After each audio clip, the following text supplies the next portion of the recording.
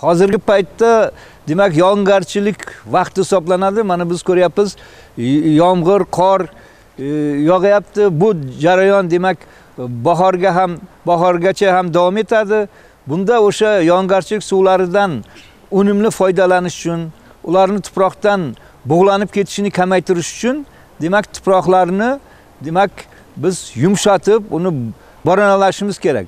Ya'ni e, boronalangan yerlarda tuproqning mayda kapillyarlari buzilib tuproqdan suvni bug'lanishi oldi olinadi. Ya'ni borana qilingan tuproq tuproqning ustki qatlamida e, e, mulcha vazifasini bajarib tuproqdan namni demak e, uchib ketishini bug'lanib ketishini oldini olinadi. Bu baranlash jarayonlari o'sha tuproq yetilgan paytda amalga oshirilishi kerak. Agar yerlarni biz barona qilmasak mana shu e, qish payti bahor payti demak tuproqdagi nam o'sha kapillyarlar orqali demak uchib ketib uni katta qismini biz yo'qotishimiz mumkin. Bu esa tuproqda e, o'sha nam zaxirasini suv zaxirasini kamayishiga ularni behuda yo'qolishiga olib keladi. Shuning uchun mana shu qishki bahorgi paytda e, o'sha yerlarni tayyorlashda nam to'plashda demak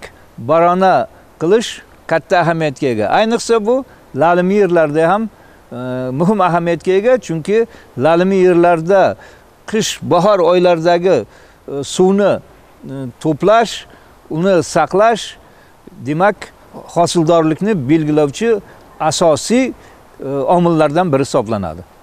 O'sha qurg'oqchilik yillarida mana e, qishda bahorda yog'ingarchilik kam bo'lgan paytlarida demak e, sug'orish ham muhim ahamiyatga ega.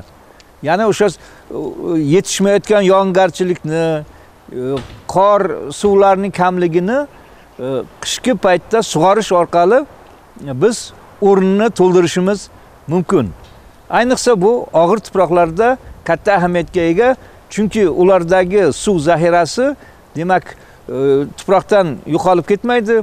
Bir yarim ikki metr chuqurlikkacha bu saqlanadi va o'suv davri paytida og'ir tuproqlar o'sha pastdagi suv zaxirasini tuproq yuzasiga demak yetkazib berib o'simlikni demak o'suv davrida suv bilan ta'minlanishini yaxshilaydi. Shuning uchun demak hozirgi paytdan o'limni unumli foydalangan holda sug'orish orqali ham biz suv zaxirasini oshirsak nam to'plashni amalga oshirsak bahorgi yozgi paytda o'simlik o'stirishda katta muvaffaqiyatlarga erishishimiz mumkin.